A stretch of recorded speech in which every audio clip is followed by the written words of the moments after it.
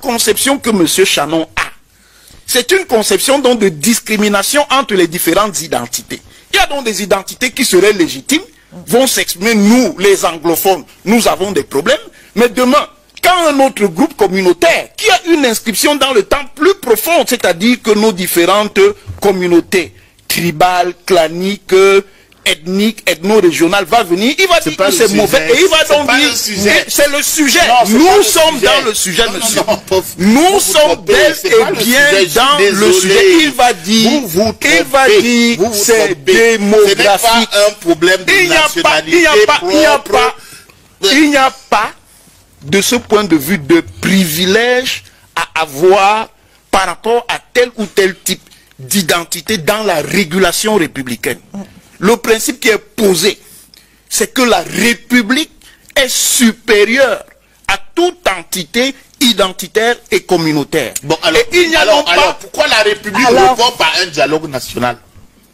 Ça a eu lieu. Vous étiez au dialogue national. Bah, c'est pas moi. Moi, j'y étais. Bah, Est-ce que c'est un Bon, problème de attendez moi donc. ou vous? Laissez donc. Non, c'est est-ce que Vous étiez au dialogue national. Est-ce que c'est moi ou Bon, vous? je vais donc vous dire, je vais donc vous dire, non, pourquoi il y a eu ce dialogue C'est parce que une Je vous dis donc, je vous dis donc, moi j'étais, j'étais au dialogue national. Je vais donc vous dire. Et alors? Laissez donc, je vous dis.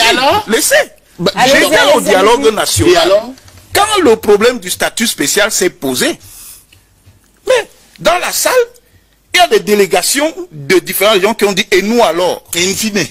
Ça veut donc dire, Et in fine. et nous alors Et in fine. Et nous alors Et in fine. Mais attendez, c'est- vous pensez que la montée donc des différentes dynamiques communautaires, c'est lié à quoi? C'est lié à ce mouvement, et je l'avais dit, C'est ça que ce mouvement-là, qui crée la guerre. ça crée quelle guerre? Vous n'aimez pas la vérité, c'est la vérité. Alors, une fois monsieur- que vous avez, vous faites du laxisme par rapport à une communauté, quelle qu'elle soit, les autres communautés s'invitent dans le débat en termes de compétition et de demande à l'État. Et de ce point de vue, pour terminer, on a l'habitude, et c'est encore un poncif, de croire que les tensions interidentitaires ou intercommunautaires naissent du seul fait de l'État. Ce n'est pas vrai. Les gens ont ici une technique de pression sur l'État qu'on appelle les mémorandums.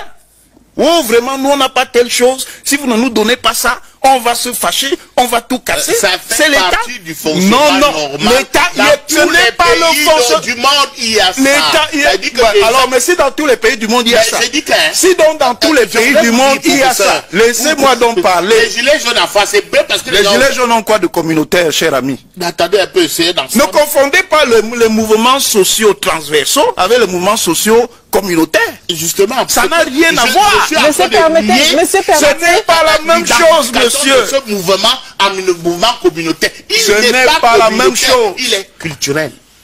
Il est Alors- culturel. Jean-François professeur ce Jean-François